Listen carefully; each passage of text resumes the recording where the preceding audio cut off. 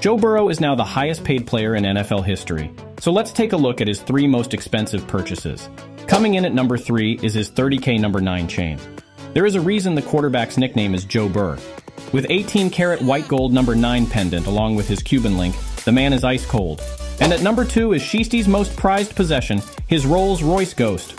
Costing $350,000, the car has Joe rolling in style. Finally, number 1 is an 104-acre farm in Iowa. Costing $5 million, the former first overall pick is taking a stake alongside Blake Griffin and Kevin Gausman.